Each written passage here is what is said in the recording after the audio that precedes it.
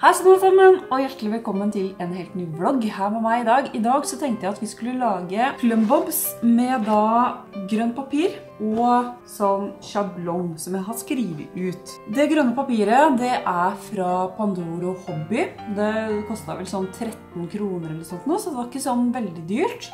Og den malen her fant jeg på nett, så den var det bare å skrive ut. Videre har jeg også kjøpt eh, sånne hårbånd fra eBay. De kostet da 5 kroner, tror jeg, for to stykker. Så de var veldig billige. Og I tillegg så har jeg da kjøpt eh, ståltråd fra Pandoro Hobby. Videre så trenger jeg da en saks og lim. Jeg trenger egentlig sånn pistollim til det her, men den klarte jeg ikke å finne igjen i boden når jeg lette. Da jeg prøvde også å lete etter den der nisselua mi, men den fant jeg heller ikke, så derfor så da blir det da reinsdyrhorn i dag også. Og derfor så blir jeg da brukende da superlim i stedet for pistollim. Så det jeg da starter med, det er å da klippe ut eh, den eh, sjablongen som jeg har her. Og den har jeg da finnet fra Can Cavett sin YouTube-kanal. Jeg kan linke til henne under her.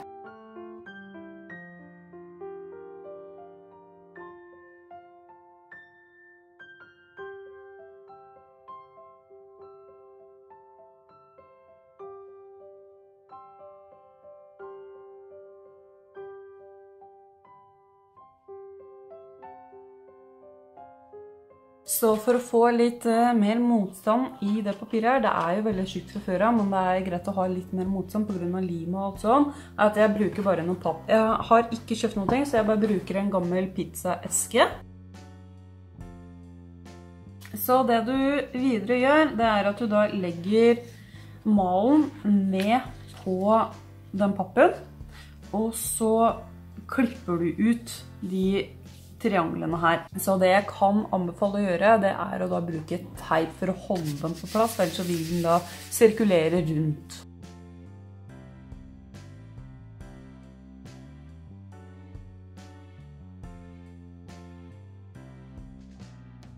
Så det jeg da gjorde der nå, var at jeg da bare tok den magic-tapen opp, klikket under, og så bare la teipbiten under for å holde det på plass.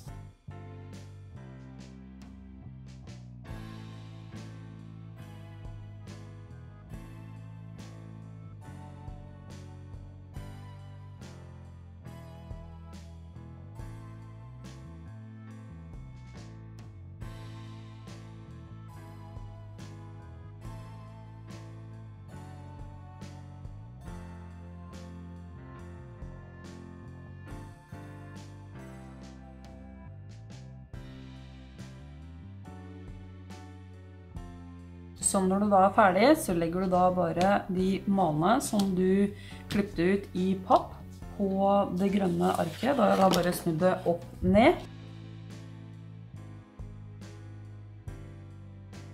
Så det jeg da igjen kan anbefale er å bare teipe dem fast, eller tegn rundt med en blyant.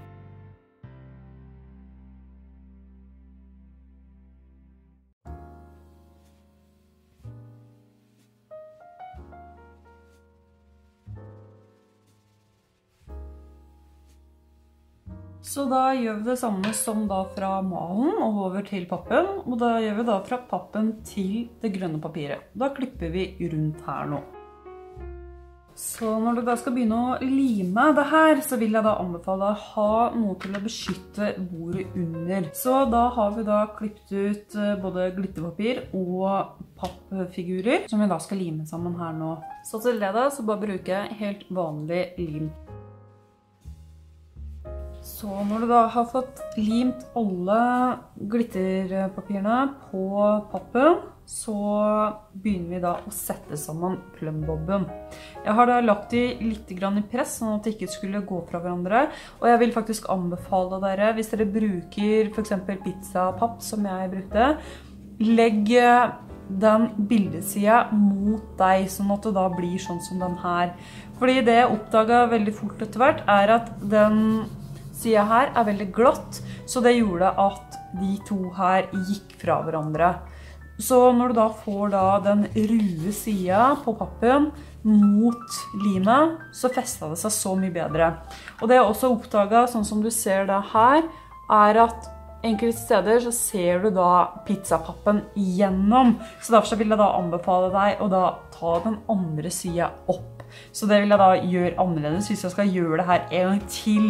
Så det vi da gjør er at vi da legger den ene her, legger vi da ned mot under her. Og så tar vi da de trekantene her, og så skal vi da lime de opp mot her. Og de første, de vil være litt vanskeligere enn de andre, så du må bare være litt tålmodig på det her. Og da bruker jeg da en limpistol til det. Min er fra Klaas Olsson, og er bare noe sånn billigere til sånn 99 kroner. Så da bruker jeg da bare den her til å bare holde formen til det har stivnet.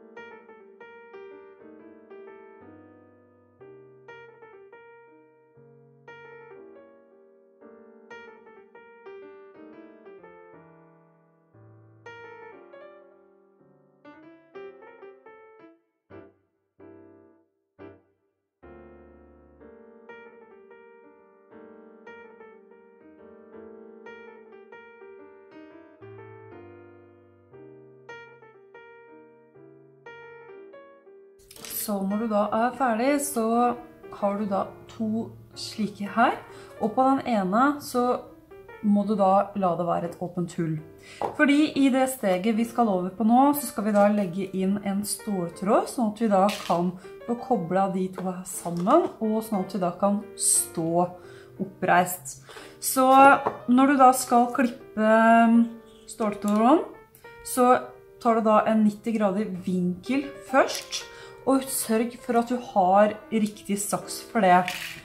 En slik saks vil ikke fungere, og du vil ødelegge saksa på det. Så bruk en ordentlig metallsaks. Så når du da skal feste den her, så setter du da den bare helt inntil her. Og så tar du da inn noe superlim her. Og det er greit å tenke at jo mer, jo bedre på akkurat det her. Og så er det også veldig greit å lime øverst her. Så når limet da har tørka, så setter vi da på den siste trekanten.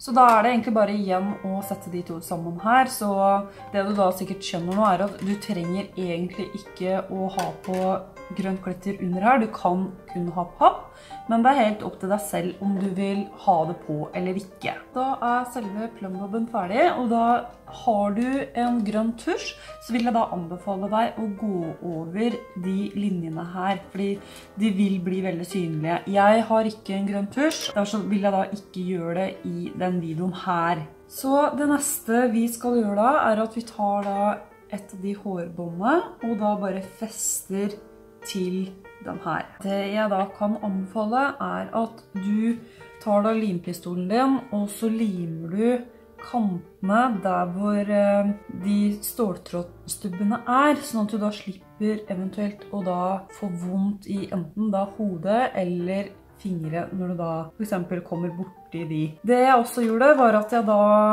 limte fast ståltråden helt øverst her.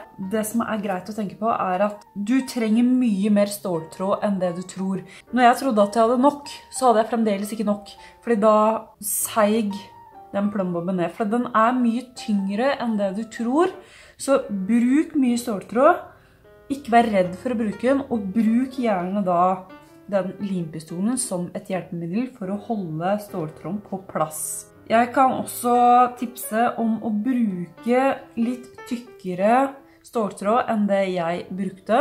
Det ble litt... Eh, jeg måtte nok bruke litt ekstra av at ståltråden min var såpass tynn. Så det her er da min plumbob. Det som er veldig greit å vite er at den er ekstremt tung, så den henger veldig opp. Det er eh, my point exactly. Den er veldig tung, den, den, men den er veldig kul. Den er helt fantastisk for meg som er en liten sånn The Sims-nerd. Så er det egentlig bare kjempekult da, å i hvert fall ha til bilder i alle fall. Hvis jeg kan gi noen tips og tanker i ettertid av det prosjektet her, er at du trenger mye mer lim enn det du tror, og du trenger mye, mye mer tid enn det du tror. Altså, jeg trodde at dette var gjort på en time, halvannen, men jeg måtte bruke to hele dager på det her. Fordi først så slutta limpistolen min å funke, og så hadde jeg ikke nok lim. Det var hele tiden et eller annet som tok da mye lengre tid enn det jeg trodde at det skulle ta. Og hvis jeg da kan komme med et uh, annet tips, er at bruk en litt tjukkere ståltråd enn det jeg gjorde, så kanskje du da får litt bedre hold på den her enn jeg gjør, og kanskje bruke et litt tykkere hårbånd enn det jeg eh, har brukt her. Fordi jeg kjenner at når jeg har den på her nå, så føler jeg meg litt sånn småuttrykk på den. Det er litt sånn halvveis ekkelt, fordi jeg kjenner at den beveger seg oppe her.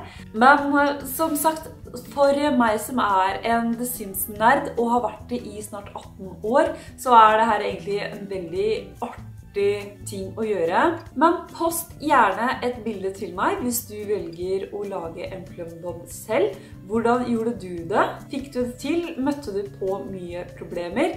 Legg gjerne igjen en kommentar under her hva du synes om den plumboben her. Og nå dette med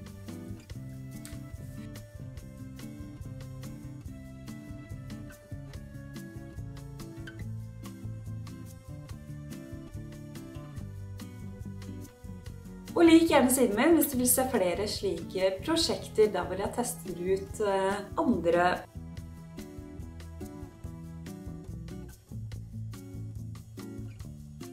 Nå gir jeg opp å ha på den her. Altså, den bare sklir av. Men uansett, lik hva siden min hvis du vil se flere slike gjør det selv-prosjekter. Og kom gjerne med forslag til hva du eventuelt vil se. Men da vil jeg uansett takke meg, og så ses vi igjen senere. Ha det bra!